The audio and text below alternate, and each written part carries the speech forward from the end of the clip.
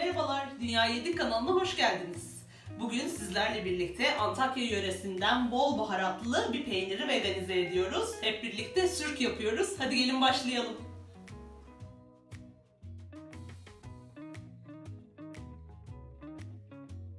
Sürk peyniri için biz çiğ bademden faydalanacağız. Ne kadar kullandığımı açıklamalarda bulabilirsiniz. Geriye kalan her şey tamamen baharat. Neler kullanacağız kısaca sayalım.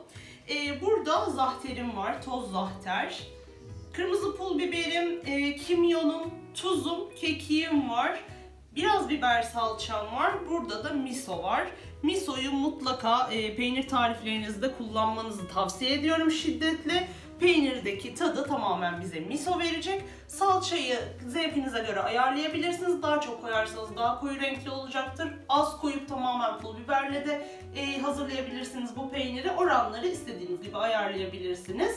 E, ben hemen çiğ bademlerimizi makineden çekerek başlıyorum.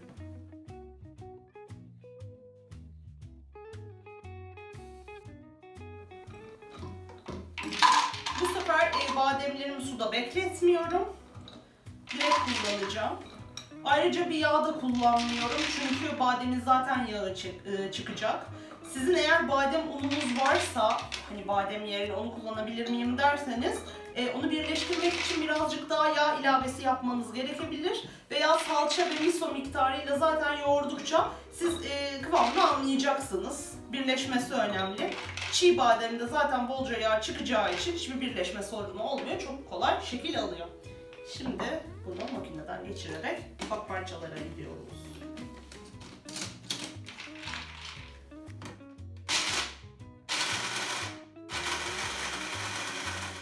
Bademlerimi karıştırma kabıma alıyorum. Burada yoğuracağız, birleştireceğiz diğer malzemelerle. Evet.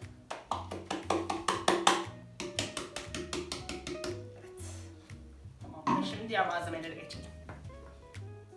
Gördüğünüz gibi unumuz hazır. Çok güzel bir kıvamı var. Hemen başlıyorum.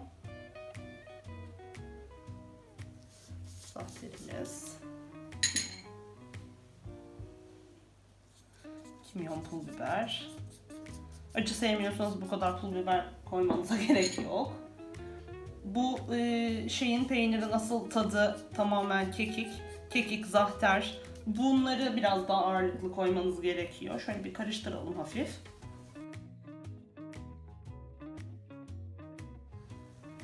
Salçamızı ekleyelim.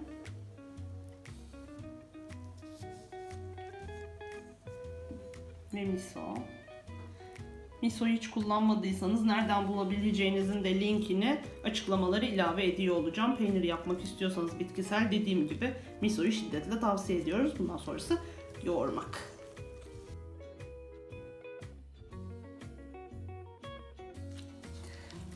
Bu karışımı böyle yoğurdukça gördüğünüz gibi demin bahsettiğim gibi yağı çıkıyor ve çok güzel birleşiyor. Ondan sonra bunu şekil vermesi de oldukça kolay hale geliyor gördüğünüz gibi. Sürüklerimiz birazdan hazır. Şimdi peynirimize şekil vermeye başlıyoruz. Alışıla geldik. Sürk şeklini bir vermekle başlayalım öncesinde. Bunlar şöyle hafif daha piramite benzer bir şekil oluyor. Bunları bu arada kurutabileceğiniz gibi o kadar bekleyemem derseniz direkt de yiyebilirsiniz. Şurada şekil vereceğim. Ben genelde baştan bir tanesini yiyorum, geri kalanlarını kurutuyorum. Onu da e, fırında kurutabilirsiniz, kurutucunuzda kurutabilirsiniz ya da ortada üstünü kapatarak bir dolabın içinde bekletebilirsiniz. Sanırım oldu gibi. Böyle küçük bir sürkümüz hazır.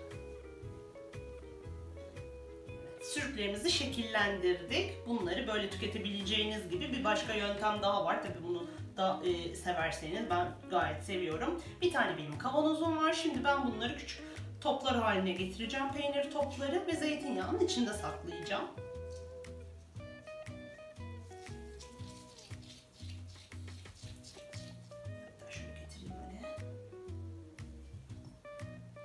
Oldukça lezzetli, iştah açıcı bir görüntüsü oluyor.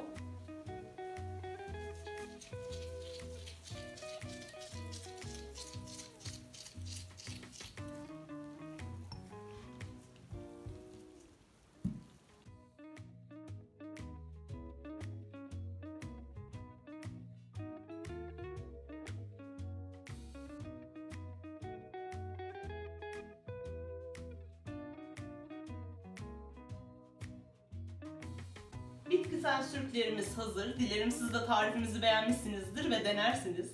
Denerseniz bize yorum olarak bırakmayı ya da bizi Instagram Dünya Yedik hesabından takip edip yaptığınız sürükleri bizimle paylaşmayı unutmayın lütfen. Bir sonraki tarifimizde görüşmek üzere. Hoşçakalın.